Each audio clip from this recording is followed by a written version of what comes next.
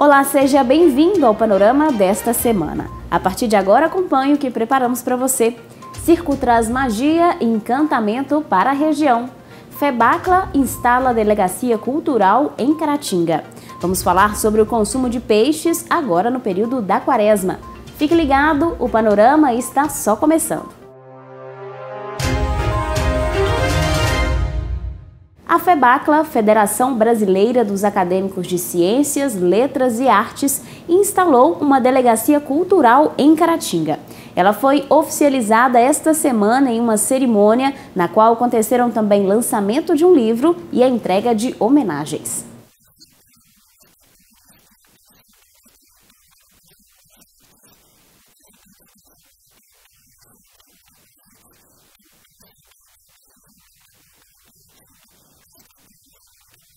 E dizer que a FEBACA é uma federação brasileira de acadêmicos de ciências, letras e artes, com sede em Nova Iguaçu, Rio de Janeiro.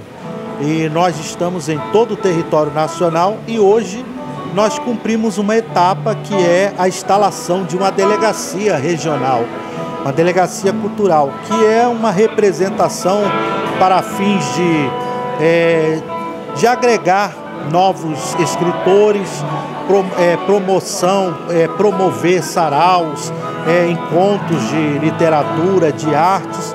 E a Verônica Moreira é essa pessoa que foi escolhida para ser a representante aqui nesta cidade que eu, sinceramente, me encantei com a beleza da cidade né, e por ser uma cidade bem histórica. Abrindo essa oportunidade para a cidade de Caratinga, é, através de mim, né, eu posso estar tá fazendo indicações né, para quem quiser desejar ser membro da federação, para levar mesmo a cultura, para levar a sua arte. Ali a gente fica conhecido, porque você acaba interagindo com pessoas de todos os segmentos, de todos os lugares do Brasil. Né, e fora do Brasil também, o que é mais interessante.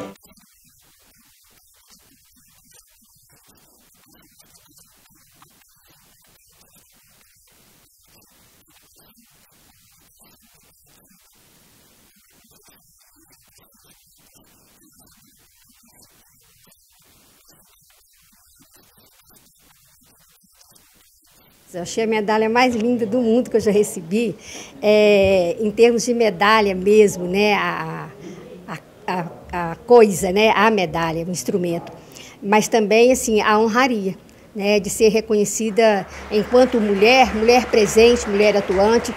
É isso, né? Minha meta é essa, ser essa mulher atuante, mulher presente e que merece receber homenagem e que a recebe e agradece. Inclusive, nós recebemos também nessa solenidade a homenagem para a Academia de Letras, né, um certificado de agradecimento né, da presença da gente, da, da colaboração da gente com a cultura, realmente. Isso também para mim foi muito importante, estar aqui com meu companheiro professor José Ailton, que assume na próxima semana a presidência, a gente recebendo também essa homenagem.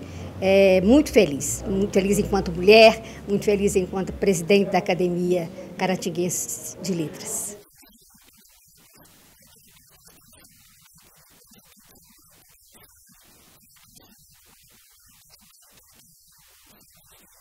Um autor que eu gosto muito, que era um indianista e que escreveu coisas maravilhosas como por exemplo a canção do Tamoio, um, um escrito muito importante, quando ele diz que lá num dos trechos ele fala: Não chores, meu filho, que a vida é luta renhida, viver é lutar, que aos fortes, aos bravos pode exaltar. Então, hoje, a noite de hoje foi meritória para todos aqueles que vieram aqui, quase cumprindo aquilo que o Gonçalves Dias afirmou.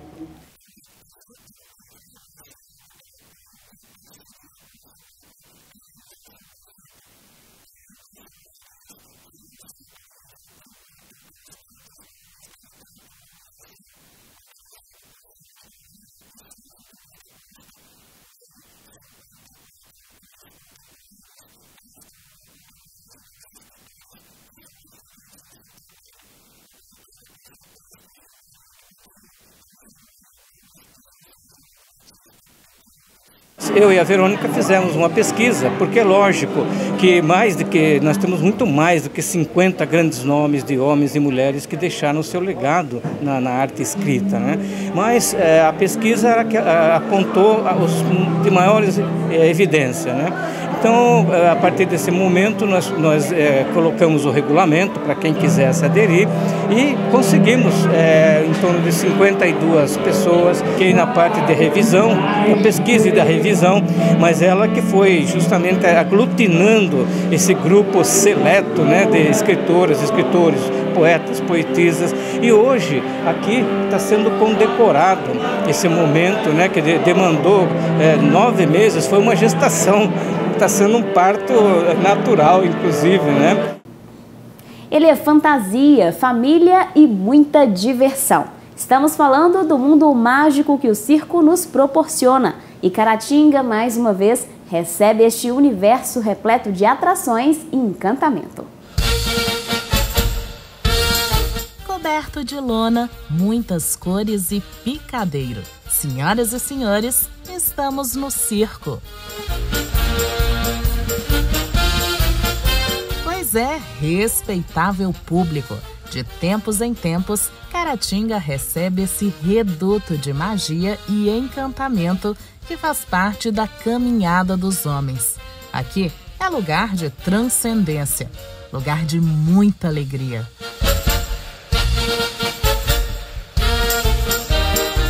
Há alguns dias, caratinguenses e moradores de cidades vizinhas tem desfrutado deste mundo de atrações que reúne artistas de diferentes especialidades, como malabaristas, palhaços, acrobatas, ilusionistas e muito mais. A gente está trazendo um espetáculo totalmente inovador, totalmente diferente de tudo que Caratinga já viu.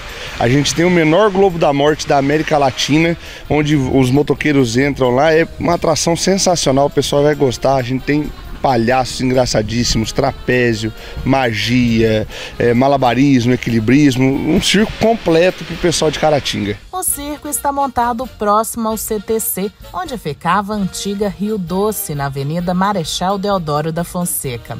Além de todas essas atrações que o Bruno citou, o circo conta com a apresentação do artista Bananinha, do programa de televisão A Praça é Nossa. Isso aí é um super show de humor para adultos, crianças, piadas que a família inteira pode assistir, o pessoal vai gostar bastante, muito legal. Vem assistir a gente, vocês vão gostar. Foi legal assim, porque eu falei assim, eu falei, gente, eu quero fazer um circo para viajar o Brasil inteiro. Eu falei, eu quero fazer o estado de Minas Gerais, que eu gosto muito, né? Aí falou, vamos fazer um circo, vamos fazer um circo, meu sócio falou, vamos fazer. Aí eu falei, fazer um circo, agora a gente tá viajando o Brasil inteiro. O humorista Marcelo Beni, conhecido como Bananinha, começou sua carreira nos circos, palco que sempre gostou de estar. Mas foi na televisão que ganhou projeção nacional. Ao lado de outros humoristas na TV, ele tirava boas gargalhadas do público. E cá para nós, continua tirando nos picadeiros. Na TV a gente né, ganha o carinho do público com o tempo. E, e, o legal do circo, porque você tem um retorno imediato das piadas, do carinho do povo, se o povo tá gostando, se não tá. Os espetáculos acontecem de segunda a sexta, sempre às 8 horas da noite, e aos sábados e domingos, às 6 horas da tarde e 8 da noite.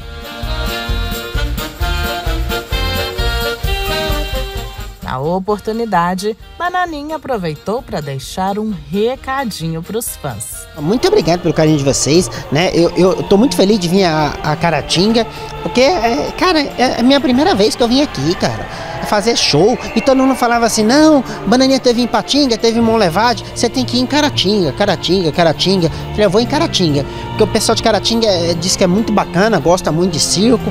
E eu tô vendo que o pessoal ali tá animado. Então, ó, muito obrigado pelo carinho de vocês. E venham no circo, eu vou estar tá aqui, tá? Me sigam no, no Instagram, no Facebook. E é, é... Alô? Abstinência de carne vermelha, uma prática muito comum entre os cristãos durante a quaresma, período destinado às penitências, está provocando o aumento do consumo de peixes. Conheça um pouco sobre o hábito e saiba como anda a procura pelo alimento em Caratinga. Estamos na quaresma, período de preparação para a Páscoa. Pela tradição cristã, é uma época destinada às penitências. Uma delas, muito comum entre os católicos é a abstinência à carne vermelha. Na quaresma a gente come muito peixe. Não é bom comer carne não, só peixe. Peixe ovos. A ação é considerada uma forma dos fiéis demonstrarem respeito às tradições religiosas, mas principalmente a tudo que significa a quaresma. Tem que fazer a penitência, que o trem tá feio lá fora. Hein? Nós tem que orar, pedir, rezar muito. Durante a quaresma, são trabalhados a tríade oração, caridade e jejum. Como manda a tradição católica, a penitência, quando em muitos casos se deixa de consumir determinados alimentos, um costume milenar, é uma forma de pedir perdão a Deus pelos pecados cometidos e tentar se aproximar dele. Que às vezes é preciso fazer algumas renúncias, porque senão a gente cai naquele ritmo de querer fazer tudo conforme a nossa vontade e aquilo que não é do nosso jeito então não presta, e aí vem as irritações, a violência. Então é um tempo de abstinência, exatamente para fazer essa experiência de perceber que a gente pode sofrer um pouquinho também, quando é para o bem do próximo, para o nosso próprio bem, né, é, é, em sinal desse amor a Deus em primeiro lugar e do amor que devemos ter uns para com os outros. Com isso, existe o costume de se comer peixe durante essa época, o que já faz parte da devoção cristã. Além, é claro, dos benefícios trazidos por esse alimento. Peixe é bom para a saúde, tem hormônio, assado, frito, pode fazer muqueca, todo jeito é bom. Diante do cenário, os comerciantes agradecem, já que o hábito causa o aumento da movimentação dos estabelecimentos do ramo. Nas peixarias, o que se vê é a procura constante pelo alimento. O período é considerado o melhor do ano para quem vende o produto. Este homem, proprietário de um estabelecimento no centro de Caratinga, está no ramo há 18 anos. Hélio acredita que, além das tradições religiosas, a intensa procura por peixes também está associada ao fato de ser um alimento saudável. A gente não vende peixe, não vendemos produto, vendemos qualidade de vida. Se a pessoa quiser ter hoje uma alimentação balanceada, uma qualidade de vida, o primeiro intuito dele é mudar a alimentação dele, é onde é o foco nosso, carne branca, que é o peixe. Entendeu? Peixe é qualidade de vida. Adquirindo mais peixe, você terá uma qualidade de vida melhor, uma vida, vida mais saudável. Na quaresma, sim, cresce muito o movimento, mas hoje em dia tem crescido bastante essa preocupação com a questão alimentar, com a questão da saúde. Então, é, tem melhorado bastante o nosso movimento. Na quaresma, a tendência é que cresça um pouco mais. Trabalhamos hoje com 22 qualidades de peixe, certo? Temos filés de peixe, peixe para fritar, para moqueca, para assar. Então, é, sem o produto o cliente não fica não. Temos peixe de a partir de 10 reais, entendeu? até os peixes mais elevados, que é o salmão, certo? Ou os camarões também. Mas o, o cliente, sem o produto, sem o peixe, sem um bom pescado, ele não vai ficar não.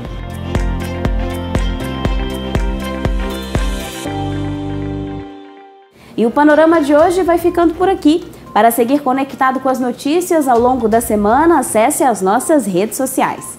A você que nos acompanha, o nosso muito obrigada. Esperamos você na nossa próxima edição. Até lá!